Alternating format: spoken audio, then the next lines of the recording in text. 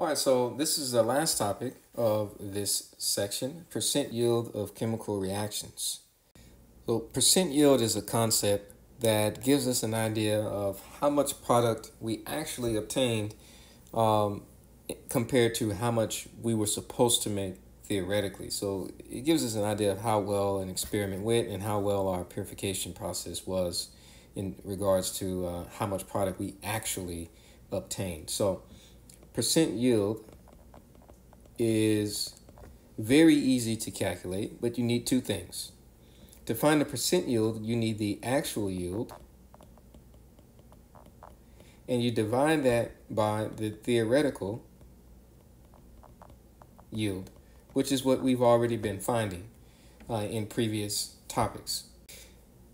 And because this is a percentage, you need to multiply this value here that you'll get, which will be a decimal, because the actual will always be um, uh, less than or equal to the theoretical yield. It'll never be greater. So this will be 1 or less. You multiply it by 100 to convert it to a percentage. Okay? So in this problem, they want us to find the percent yield of carbon dioxide. What do we need to find percent yield? You need the actual yield and you need the theoretical yield. When you look at the problem, they give us the actual yield. They say 13.7 grams of carbon dioxide is produced from the reaction. But how much CO2 were we supposed to make theoretically? We have to find that. So we find that uh, using the same uh, process that we were before uh, in our previous ALEKS topics dealing with stoichiometry. We're going to, we're going to have to begin with a chemical equation and ensure that it's balanced. So we have butane, Our first reactant. Uh, it's a combustion reaction, so it's reacting with gaseous oxygen, or two products of a combustion reaction of uh, organic compounds of CO2 and water vapor. Okay. Now we now that we have the chemical equation with the correct chemical formula, we need to balance this.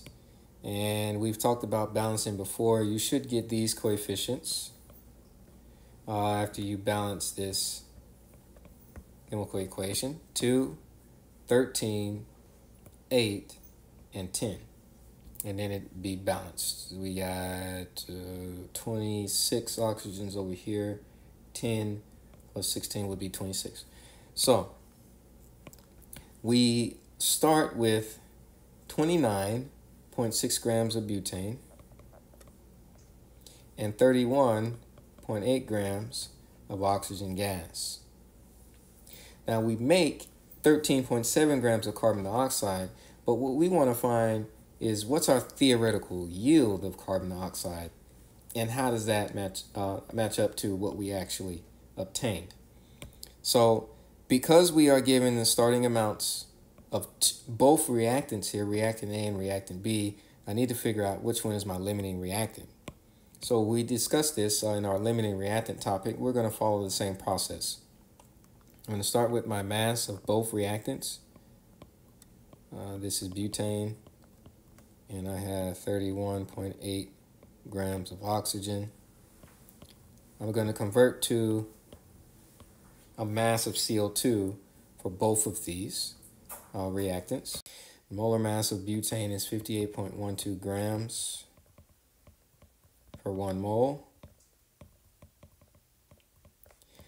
From the balance equation, I see that 2 moles of butane are consumed to produce 8 moles of CO2. And then 1 mole of CO2 has a molar mass or has a mass of 12.011 plus 32 44.01 grams.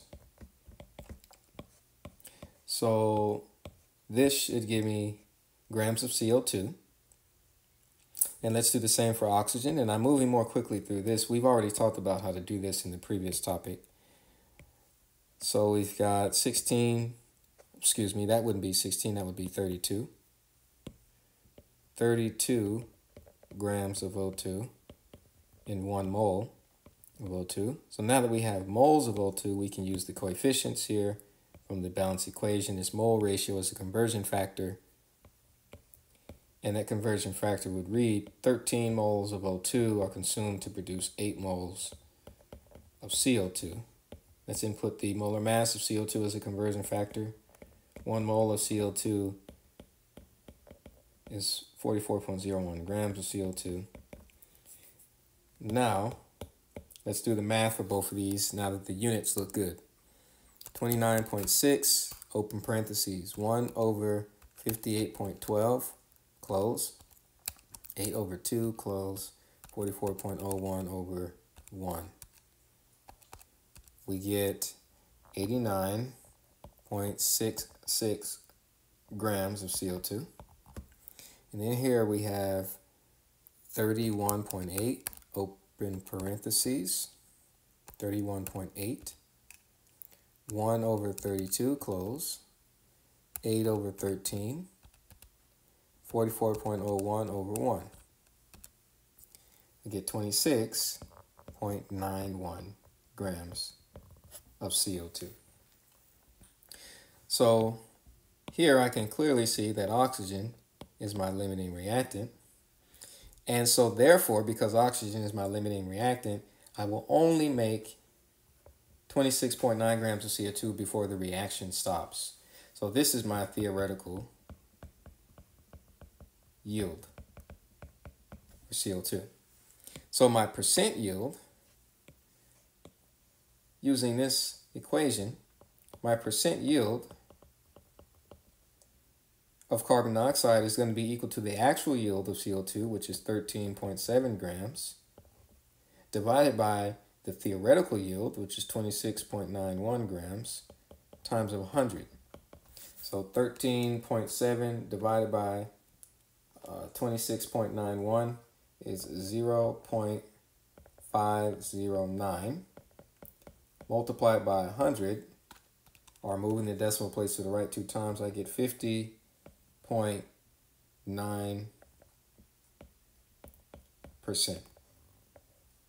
So I obtained 50.9% of what I should have theoretically, assuming that the reaction went all the way to completion. So the, the higher the percent yield, the better the reaction uh, proceeded, the, the more completely it reacted, and the better your technique uh, if you are purifying your product. Um, and it may be easy or more difficult to purify your product just depending on the state of matter it's in and what it is, um, what you're purifying it out of.